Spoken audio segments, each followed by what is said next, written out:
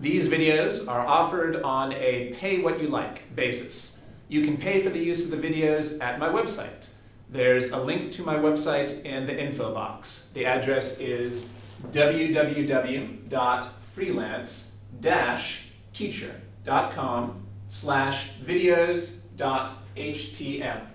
Or you can just use the link in the info box. Thank you. What block would we say hydrogen is in? S. Yeah, so this is the one S block. One is called the principal quantum number. Mm-hmm. That's the principal quantum number. Mm-hmm. Um, and then the next quantum number is called L. And these are the possible L's. Mm-hmm. Now there's another name for these. What's another name for when L is zero? Another name for when L is zero is the S type orbital. And what's another name for when L is one? D. Yeah, and then this would be, D. and this would be, F. all right. So that there's just two different ways to name the types of orbitals. You could say, we know these are different types of orbitals because they have different shapes, right? We know that S orbitals are spherical, and we know that P orbitals are figure eights. And we were just seeing a lot of problems where we saw that D orbitals have four lobes, except for the one that has two lobes in the donut. Yeah. Uh, and then the F orbitals are even more complicated. I don't think we need to get into that. But different types of orbitals have different shapes. Well, you could just, so it's the same thing to say that you have an S orbital or to say that its L is zero. Those are just two different names for the same type of thing. Um, I have a question, um, about those dots, like after three, what does that means? Well, that means that theoretically you could go on to four and five and six and seven. But we. Theoretically, this goes on forever. And at this point, you would call this G, H, I, J, but those rarely come up in practical situations, so we only drew the first four. Okay, we just focus on four. You focus on the first four, those are the ones that will come up in your course. Um, and we focus on the first four letters. If you had to, you would now start using alphabetical order, G, H, I, J, I believe, but those are unlikely to come up. Okay.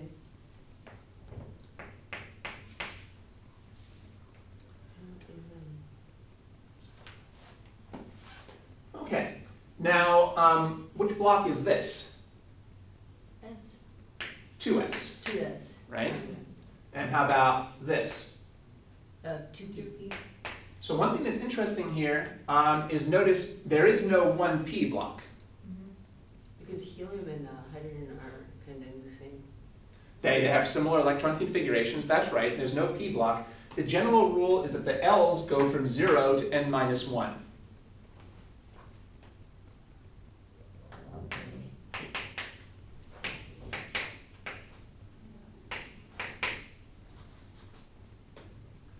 Example, um, if n is 3, what are the possible values for L?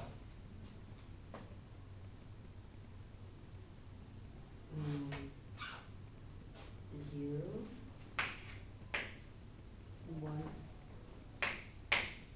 Two. Could it be 3? No, because the rule we just learned is that L can't be bigger than n minus 1. Well, n minus 1 here would be 2. So the biggest that L could be here was 2. Oh, okay. That's just the rule. When n is 3, L could be 0, 1, or 2. So how about when n is 2? What could L be? Only zero or one. And when L is 1, Zero. it just goes from 0 to 0. It's kind of a weird series. Let's actually fill in more of these blocks here. Um, so what block is this? It's uh, three S. And how about this? Three P. Good. And here we have Four S. Four S. And- Three D. Four P.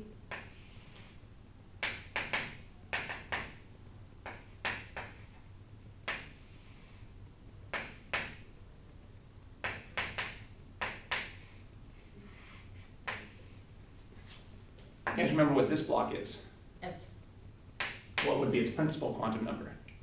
Um, eight. Oh no, it's um, five. Four. Four. One. Go to one, two, three, four. Oh, I see your last time. Notice that the first. S block is one. The first P block Yeah. is two. The first D block is three, and the first F block is four. Mm-hmm. So you can use the order here to remember when it first comes up. S is the first type, so it comes in with a principal quantum number of one. P is the second type, so it comes in with a principal quantum number of two. D is the third type, so it first appears in the third principal quantum number. And F is the fourth type, that's just a memory age, remember it first appears in the fourth number. And what number would this be? Five. 5F.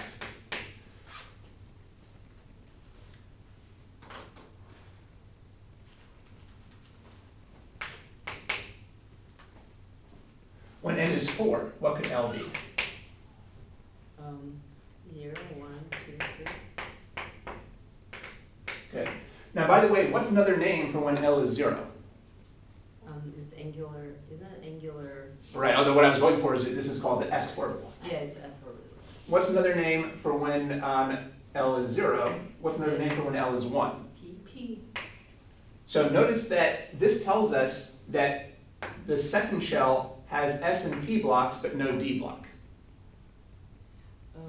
Okay. so- which we already knew from the periodic table. So what we're seeing here is that our mathematical rule, our mathematical n minus 1 rule, is the same information as we can get from the periodic table. Mhm. Mhm. So you can figure that out either way. If you follow the n minus 1 rule for the possible L's, you can uh, get the same information that we just got from our periodic table, which is that the first principal quantum number has only an S shell, and the second principal quantum number has S and P shells.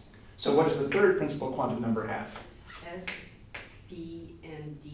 Which is consistent with what we had in our periodic table. This is where we first had 3D, but is there any 3F? No. There's no 3F, we knew that from the periodic table, and that's also consistent with our numbers here. There is no number 3 here. Okay. And how about the fourth principal quantum number? What subshells does it have? Oh, it's, uh, S, B, D, F. Which we already had said, this was where the F block first comes in. So these are two ways to see which subshells you have, either using this rule or just using what we know about the periodic table. So this confirms again that the S block first appears in n equals 1. The second type of subshell first appears when n equals 2. The third type of orbital first appears when n equals 3. And the fourth type of orbital first appears when n equals 4. And if you know when this number, what this number is, you can figure out the number underneath it, which is relatively simple. Okay. All right, so that's our relationship between n and l. ml Just like. goes from negative l to 0 to positive. positive l. Yeah. Okay. And these are just different orbitals. Mhm. So for example,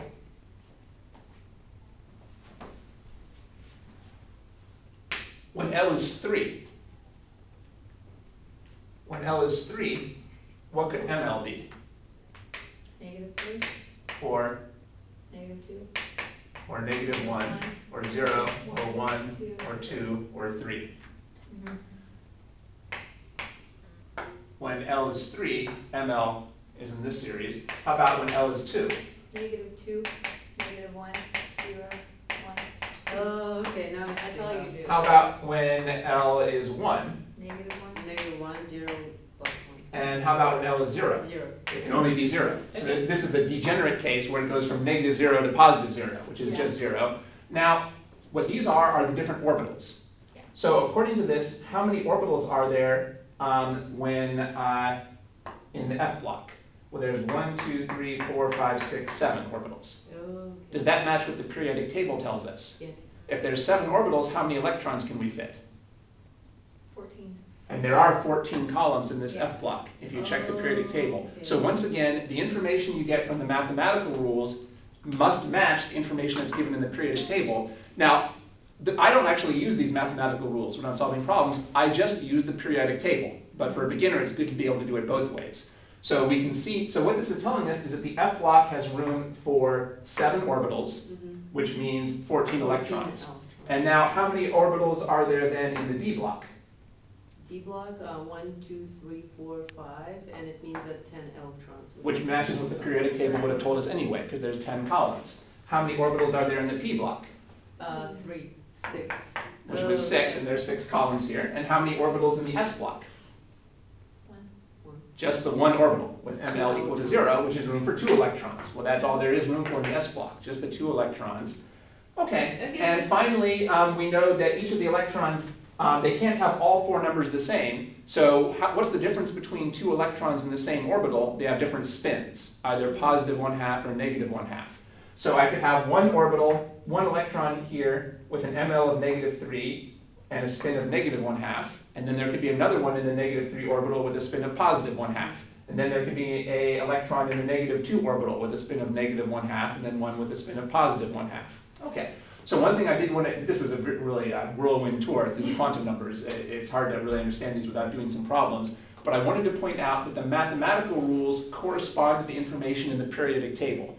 And you can usually answer quantum number problems either using the periodic table or using the mathematical rules. It's really good to try to get into the habit of doing it both ways for beginners so that you can see that the two types of information uh, match up.